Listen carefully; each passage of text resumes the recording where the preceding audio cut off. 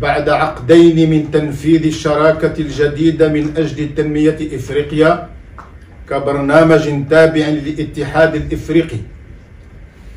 فإن بلادي من موقعها كدولة مؤسسة لهذه الشراكة تسجل بارتياح النتائج الإيجابية التي تم تحقيقها في عدد المجالات.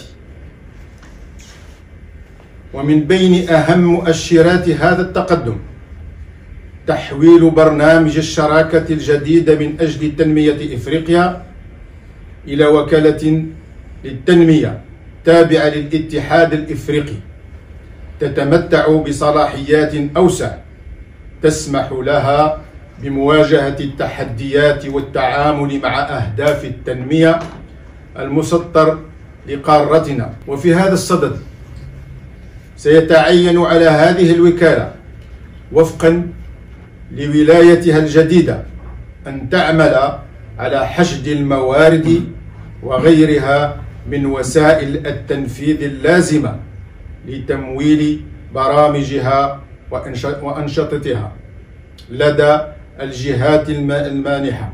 كما أن إطلاق منطقة التجارة الحرة القارية الإفريقية كواحد من أهم المشاريع الرائدة في أجندة 2063 للاتحاد الإفريقي يعكس الإرادة الكاملة للدول الإفريقية في تعزيز تكاملها الإقليمي.